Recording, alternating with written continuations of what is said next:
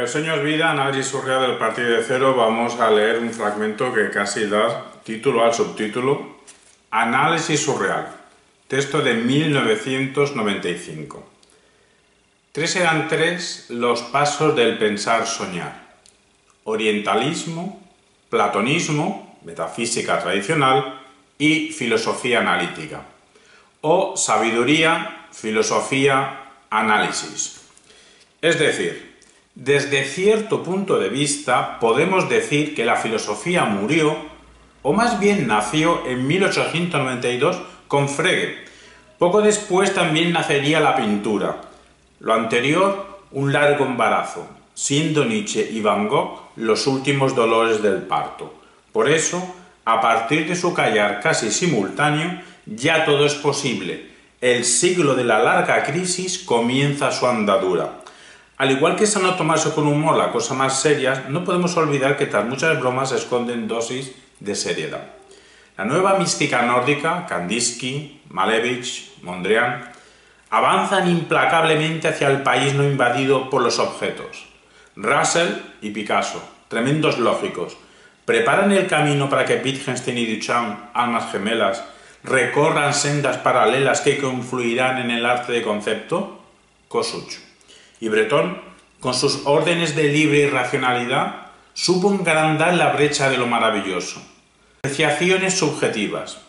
Del siglo XX, el Marx, Adorno, el Nietzsche, Heidegger, el Freud, Wittgenstein, un intelectual, Unamuno, un pensador, Ortega y Gasset, otro, Husserl, otro ignorado, Lasker, un filósofo de vanguardia, Deleuze, algunos filósofos, Carnap, Gutmann, Dennett, el artista, Dalí, el dibujante o trazador de líneas, Picasso, los pintores, Picabia, Filonov o Filonov, Marc, Klee, Ernst, Pollock, Pons, el escultor, Moore, el arquitecto, Gaudí, el creador de imágenes, Lorca, los poetas, Machado, Jiménez, Foix, Alexandre, Paz. El narrador, Kafka. El escritor, Gómez de la Serna. El músico, Schoenberg. Otros, Stravinsky, Prokofiev, Falla. El ajedrecista, Fischer. Otro, Capablanca. Otro, Pillsbury. El aventurero de los límites, Messner. Además, consideramos a Picasso el último pintor del siglo XIX, a Kandinsky el primero del siglo XX y a Miró el primero del siglo XXI. Y si miramos hacia atrás, nuestro interés solo recae en Kant. Todos estos héroes nos proporcionan el arsenal suficiente para continuar la carrera del máximo descondicionamiento posible a través de la formulación de interrogaciones adecuadas. Desde lo sublime se bajó a lo cotidiano, tanto en pintura como en filosofía. Hoy nos adentramos en lo mental. Primero fue el análisis lógico, luego el análisis conceptual y ahora el análisis surreal.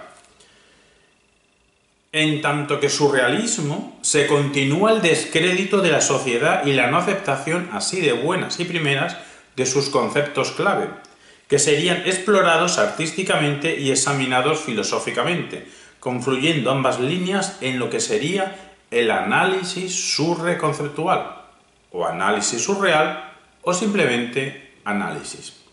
Aunque este tipo de investigación se preocupa de lo interior, la mente no duda sobre la existencia de lo exterior, la realidad, pues el suprarrealismo exige para sus quehaceres la presunción tanto del mundo interno como del externo. El test para saber si una obra es suprarrealista o no es si supone intencionalmente una mirada interna hacia la psiquicidad o no. Pues en arte solo hay dos miradas. Hacia el exterior, el paradigma es el arte objetivo cotidiano, también cabría en este mirar el arte social, o hacia el interior. El paradigma es el arte suprarrealista, aunque existen otros macrojuegos como el logicismo y el conceptualismo en algunas de sus distintas variantes. En tanto que análisis, pero surreal, se investigará todo lo relacionado con la mente, con los estados mentales. los estados mentales conscientes, cuyo campo de acción característico quizás sea la percepción, habrá que adentrarse en la ciencia de la cognición, el lenguaje, apostando entonces por una filosofía del lenguaje como filosofía de la mente, y la praxis, incluido el arte. Consideramos la filosofía del lenguaje y la filosofía del arte disciplinas de la filosofía de la acción, y a esta como filosofía de la mente. Aunque la percepción también interviene y en el lenguaje se sedimenta y en la acción aparece lo no consciente. Los estados mentales no conscientes, siendo uno de los espacios donde surge el arte. Sin embargo, hay que constatar la existencia de juegos artísticos centrados en lo consciente, lo lógico, lo racional o lo técnico. De todas formas, nosotros no excluimos del arte los estados conscientes, sea en el proceso teórico, sea en el proceso creativo en cuanto a ideación, organización, sea en el proceso técnico, importante en la recepción de la obra, por proporcionarnos información que nos ayudará a comprender su contenido, aunque no interesándonos el oficio en la creación, por ser, uno, prescindible. Para conseguir arte no hay necesidad de pasar de la concepción, si queremos, podemos quedarnos en la idea. 2. Sustituible. Si así se considerase oportuno. La mano inexperta o torpe, aún no perfecta, o con mucho trabajo, o cansada, o vieja, o temblorosa, o ausente, puede ser sustituida por la de un técnico. Los doblemente mancos también pueden ser pintores sin recurrir a pies o boca. Incluso recomendamos su uso, pues supone la mejor crítica posible a la estética del oficio y a su jerga laboral, y concepción del artista como mero productor atravesado por cuestiones mercantiles.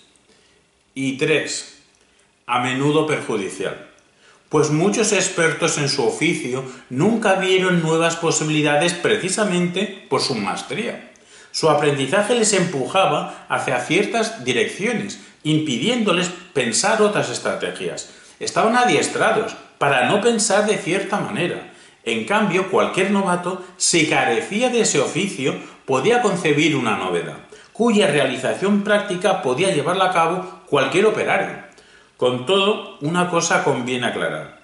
Si no delegas en nadie y pretendes producir una obra de arte en X sin haber adquirido oficio en X, obtendrás un churro. Conviene puntualizar que Aquí no se sostiene la versión fuerte el arte es alcanzable sin conocer ningún oficio artístico, sino la versión débil podemos lograr arte en una práctica X sin necesariamente poseer oficio en X. Lo que estamos proponiendo es, si teniendo oficio en A es posible también en B, C, etc., te lanzas a X desconociendo su oficio, no tengas prisa en aprenderlo, pues te educarán primero. Utiliza tu experiencia previa para crear otra X. Ya sé que en filosofía, si no tienes oficio filosófico, ninguna o floja filosofía construirás y poca entenderás. Y a pesar de que esto es verdad, estamos convencidos de que si entras en la filosofía y simplemente te dejas formar, como mucho te convertirás en un profesional, operando meramente en una historia de problemas que no has vivido en tu piel, o realizando tareas, encargos, sobre tu tiempo, en cambio, nuestra recomendación a los que piensan iniciarse en la filosofía consiste en adelante. Y antes de que te inyecten problemas, créate los tuyos propios. Así podrás vivir la filosofía. Y si vienes de otro oficio, no te será difícil crearte tu propia constelación de inquietudes. No olvidemos que algunas renovaciones de la filosofía han venido por dejarse contaminar por otro oficio, ya sea la matemática o la música o la poesía. Pero en este caso, de la poesía, suele tratarse de perversiones. Teniendo en cuenta los dos puntos anteriores, nos inclinamos por una filosofía del arte como filosofía de la mente. Al igual que el análisis lógico pretendía desocultar la estructura lógica escondida en el lenguaje, el análisis surreal se ocupa de hacer nítida la estructura surreal en toda praxis humana, centrándonos en lo que constituye nuestras condiciones de posibilidad, el lenguaje y el arte.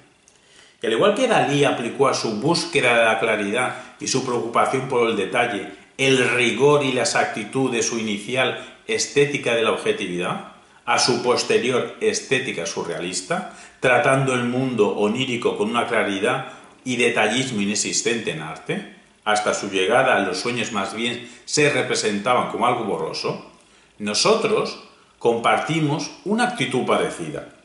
Y del mismo modo que el bretonismo se proponía, salvando obstáculos lógicos, éticos, estéticos, expresar el funcionamiento real de la mente y realizar la revolución surrealista, es decir, la liberación del espíritu, el análisis surreal se fija como objetivo la exploración de la mente sin ningún interés específico por la lógica, la ética o la estética, pero sin prescindir de antemano de cualquier herramienta que nos ayude, ya provenga de la filosofía, de la neurociencia o de la psicología. Todo ello no para alcanzar la libertad, con L mayúscula, pero sí un grado grande de descondicionamiento aunque nos damos cuenta de que es imposible lavar una camisa para siempre. Al empezar a andar nos ensuciaremos, sin embargo evitaremos tomar las manchas por lo que no son. Las analizaremos a fondo. En eso consiste la higiene intelectual.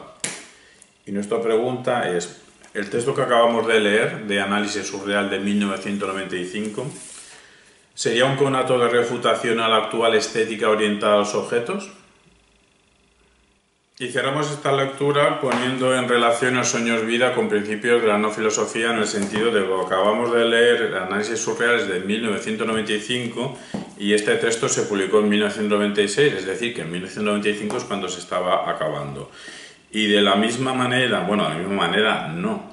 Y y a la vez que François Laguerre estaba pensando, o no pensando filosóficamente, algo que no fuese la filosofía, que fuese otra cosa que él llamaba no filosofía, pues a la vez, de forma a lo mejor menos elaborada, menos abstracta que François Laguerre, pues también nosotros estábamos en la línea de otra cosa que no fuese exactamente la filosofía, que la filosofía había sido una fase y que tenemos que llegar a otra movilidad del pensar más dinámica, más analítica, pero no bajo el corsé de la estricta filosofía analítica al uso de los 90, sino de, al menos, esa actitud de diseccionar, más que diseccionar, de atender lo relevante de los problemas y el problema más importante es, o uno de los problemas más importantes es la actividad mental, siendo uno de los terrenos de juego, uno de los campos de acción, intención, en los que más se puede y mejor explicar, o al menos explorar la actividad mental, es la actividad artística. Pero movimientos artísticos como el surrealismo no eran únicamente artísticos, o ni siquiera eran artísticos. En realidad el surrealismo emergió a partir de un movimiento no artístico, o no artístico al uso, que era Dada. Más bien el movimiento surrealista es un movimiento político, incluso más que político, ético. Más que hacer arte de otra manera, pensaban de otra manera, pensaban lo artístico o lo experimental, lo experiencial de otra manera. Entonces este flujo de intereses de lo conceptual, lo artístico, lo experiencial, lo surreal en el sentido de explorar la mente en el arte, en el lenguaje, sí, a través de, ciertos usos pertinentes que nos haya podido legar la filosofía. ¿Y cuáles serán esos usos pertinentes? Pues no cualesquiera eh, exactamente la filosofía que no sea una filosofía poética. Es que para poesía ya tenemos la poesía, no hace falta que buscar la poesía en la filosofía. Si queremos buscar la poesía, buscamos la poesía, no en la filosofía. Precisamente la filosofía que nos interesaba no era una filosofía irracionalista. Para eh, cuestiones irracionalistas ya teníamos el arte, aunque ya éramos conscientes nosotros que en el arte lo consciente y lo racional lo inunda todo. Pero bueno, aparentemente el prejuicio de lo artístico y lo racional. Pues precisamente por eso nos interesaba una filosofía irracional o irracionalista. ¿Queremos explorar lo racional? Explorémoslo donde supuestamente está en lo artístico. Pasa es que al ir a buscar lo irracional en lo artístico, vimos que lo racional está atravesando de arriba a abajo, de oeste a oeste, de norte a sur, la actividad artística, cualquier actividad. Lo que queremos decir es que ciertas exploraciones aparentemente del mundo artístico nos interesaban, la que tuviese que ver con las etiquetas surreal, pero no por la etiqueta, sino por la exploración de la mente, ciertas exploraciones que tienen que ver con lo conceptual, aunque ahora más bien donde llamaríamos exploraciones eidéticas, porque van sobre ideas, no tanto sobre conceptos, conceptos, categorías, más bien son emergencias de, actividades operatorias de los científicos, no tanto de los filósofos y de los artistas. Pero bueno, en aquella época estamos contaminados por el uso del conceptual como si también fuese un campo propio del arte y de la filosofía, cuando a lo mejor más bien es de la ciencia. Y la filosofía es de las ideas y en el arte también de las ideas, pero jugando con ciertas formas, de cierta manera, para suscitar ciertas ensoñaciones a partir de cierta intencionalidad del artista lo quiera declarar luego no lo quiera declarar. Sus declaraciones estarán como marcas en la obra. Y de la filosofía nos interesaba el riego, la claridad, la capacidad de análisis para resolver problemas, para ver lo, decisivo, lo relevante en los problemas, y eso veíamos que estaba de una forma más decisiva en la tradición analítica en otras tradiciones hermanas como Husserl. En definitiva, que el entrelazamiento de cierta actitud proveniente de la filosofía llamada analítica y cierta actitud proveniente del arte llamada surrealista, pues lo entremezclamos en la actitud surreal. Y tenía que ser, o apuntaba, a una manera de pensar no estrictamente filosófica y casualmente, en una fecha parecida, otro pensador, desde otras problemáticas, desde otras circunstancias, desde otras coordenadas, llegando a resultados distintos, también intentaba pensar no filosóficamente al uso.